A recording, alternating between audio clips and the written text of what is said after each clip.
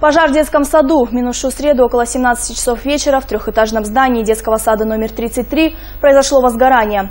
Были эвакуированы 63 человека, из них около 50 детей. По словам спасателей, пожар произошел из-за возгорания деревянной облицовки стены и одного метра электрокабеля в прачечном отделении государственного учреждения комплекс школа детский сад номер 33. Площадь пожара составила 2 квадратных метра. Жертв и пострадавших нет, сообщил пресс-служба МЧС Казахстана. Пожар локализован за 12 минут. В ликвидации пожара были задействованы 24 человека личного состава и 7 единиц спецтехники.